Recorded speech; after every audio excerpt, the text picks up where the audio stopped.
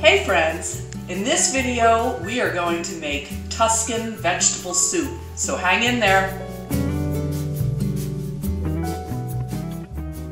First we start with a large soup pot, two tablespoons of oil, and you're going to add onions and garlic and let them simmer and reduce for about two minutes. Mix it in with that oil.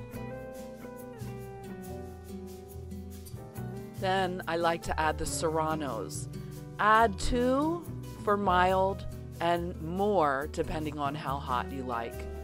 Let them all get soft. Then I'm going to add the bok choy. Stir that in. You should have plenty of oil. Now the mushrooms. These are delicate, wood ear mushrooms, and I don't like them to disintegrate, so I don't break them up too small. Then add the kale. I used bag kale this time with all the hard stems cut off. Stir that up. Get that going and soft. Maybe about another two minutes. We're going to take that off when it's all softened and set it aside. Using the same pot, add about a tablespoon of oil, olive oil is preferable, and I have two carrots and two potatoes.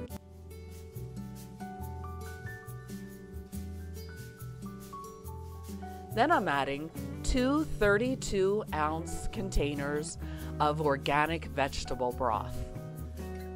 And you want to let this simmer till it's soft, till those vegetables are soft. Then you take the kale that you set aside and add that in. Stir it all together, blending well. Then I use one 15 ounce can of organic diced tomatoes and one can of great northern beans. You can use organics if you want or conventional.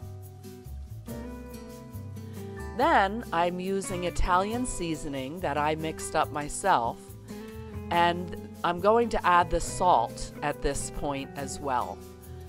You will taste it and decide how salty you would like it yourself.